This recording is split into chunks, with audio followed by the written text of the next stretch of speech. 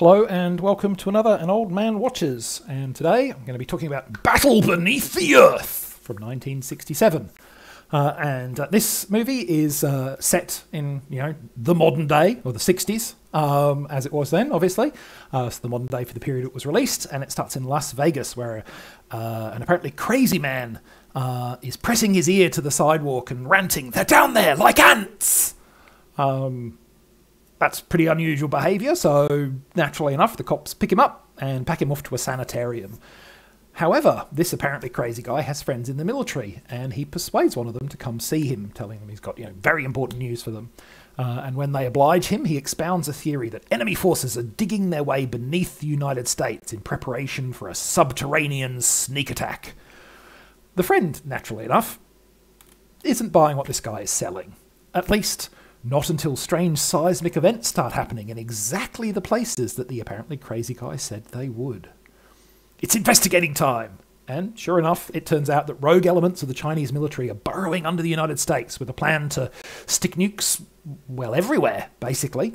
Uh, and so begins a secret subterranean war packed with crazy gadgets and antics aplenty.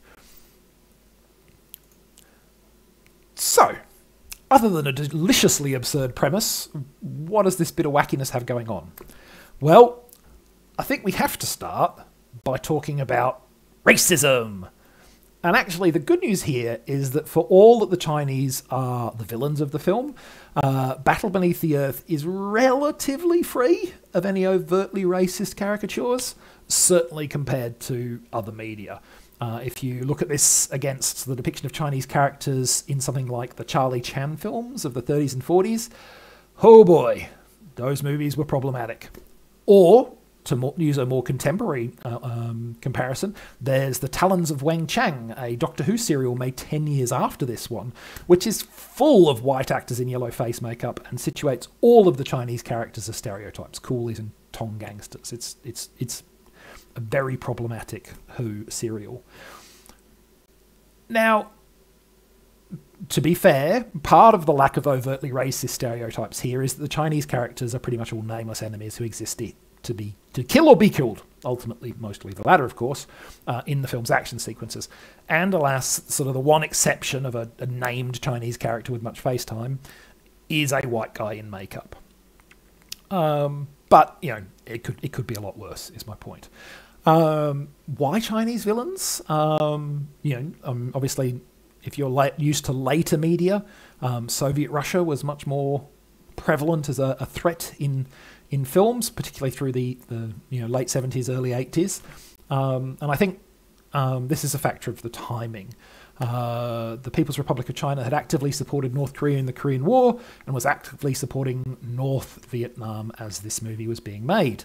Um, and quite probably in the early to mid 60s, it was seen as a more aggressive danger than the Soviet Union. Uh, a year or two later, as Sino Soviet relationships broke down, US Chinese relationships slowly grew less hostile, and the bad guys in movies changed accordingly. This is a thing that happens over time. You know, I remember after the Berlin Wall fell, and we, you know, people stopped using stopped using Russian bad guys. There were a whole lot of British bad guys for a while. Um, I guess because why not? Uh, but yeah, so I think yeah, it's a factor of its time as to who the villains were, and it's it's not as bad in its depiction of them as it could have been, which is you know fortunate to say the least because it could have been really really bad. Secondly, um, uh, it's worth mentioning that this film um, includes a huge amount of footage of the Las Vegas Strip presumably to disguise the fact that despite being set in the United States and headlined by American actor Kerwin Matthews, uh, who also appeared in Jack the Giant Slayer and uh, The Seventh Voyage of Sinbad, um, it was made almost entirely in Great Britain. Most of the supporting cast are British or from Commonwealth countries like Bermuda. The director was Irish. Um, and it appears to have been something of a personal project for executive producer Charles F. Vetter, who wrote the story and screenplay under the screen name LZ or LZ Hargreaves, uh, and who co founded a production company to finance the film.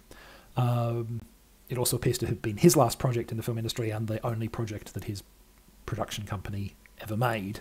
Um, so I don't know that it was a financial success for him, shall we say. Uh, but yes, it's a British movie uh, full of British actors despite the fact that it, it very tries very hard to convince you that it is in, set in the US.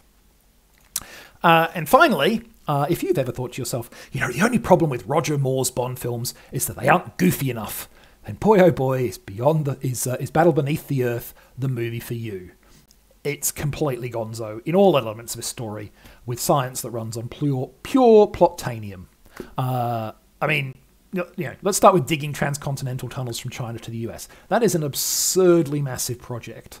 It's a 6,000 mile or 10,000 kilometer trip, all of it under the Pacific Ocean. So you're going to have to dig deep. Parts of the Pacific Ocean are, you know, six miles deep.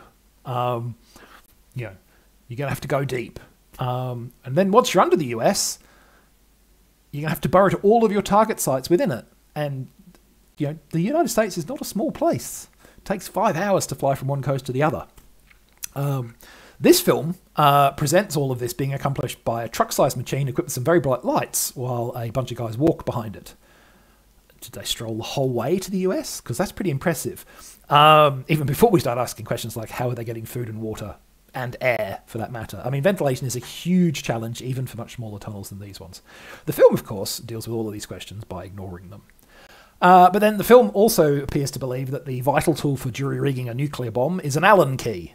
Um, so I guess it's a good thing there are so many IKEAs in the world these days. We're all well placed to deal with any rogue nuclear devices we might happen to stumble across. Just you know, pop down to your local blue and yellow store, grab a, grab any old flat pack, pull the Allen key out, job's done, nuclear device disarmed. Now, if it sounds like I'm bagging on this film, well, I am a bit. But let me let me be so let me be clear. I do kind of love how deliriously daft this movie is. It is complete nonsense but it's fun nonsense, or at least I found it fun nonsense, and I enjoy it probably far more than it actually deserves. So that's Battle Beneath the Earth from 1967. Next time, we're staying in the same decade, but we're going for a much more serious and critically acclaimed film, uh, 1966's A Man for All Seasons. So that's next time. In the meantime, thanks for watching this, this video, and I hope you enjoyed it.